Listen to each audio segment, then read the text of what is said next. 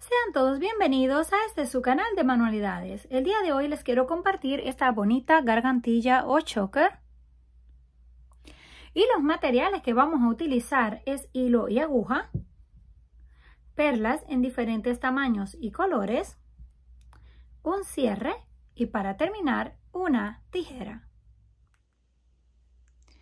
Para comenzar vamos a utilizar uno de estos cierres que se pueden separar en dos partes, pero cada uno puede utilizar lo que consiga. A continuación tomamos dos agujas, dos hebras de hilo y las vamos a doblar por la mitad para que nos queden mucho más fuertes y las colocamos. Pasamos por un lado o una argolla del cierre, la llevamos hacia abajo y luego la pasamos por el centro de la hebra que está doblada. Automáticamente nos queda listo el primer nudo. Repetimos exactamente lo mismo con el próximo por el centro de la hebra y nos queda listo el segundo nudo. Una vez tenemos ya listo el cierre, comenzamos a ordenar las perlas de la siguiente forma. Tomamos una en color blanco en forma de grano de arroz o avena la pasamos por un lado y luego la cruzamos en sentido contrario con la aguja y la vamos a llevar hacia abajo.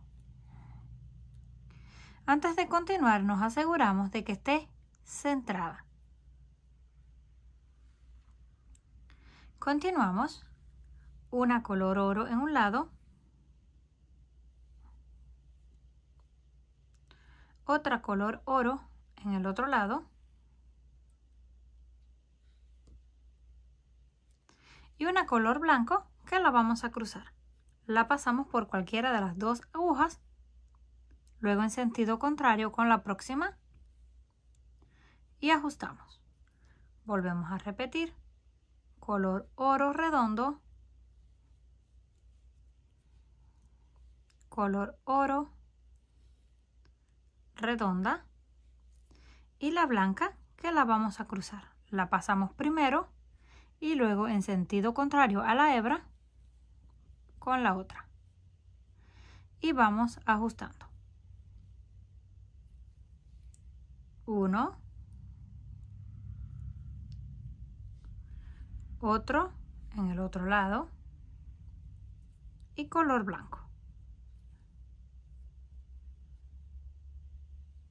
Esto es todo lo que vamos a estar repitiendo hasta alcanzar el largo o tamaño deseado. Cuando alcancemos el largo deseado, así es como nos queda. Esta mide aproximadamente unos 36 centímetros de largo para que tengan una idea, pero lo mejor es que lo prueben en su cuello.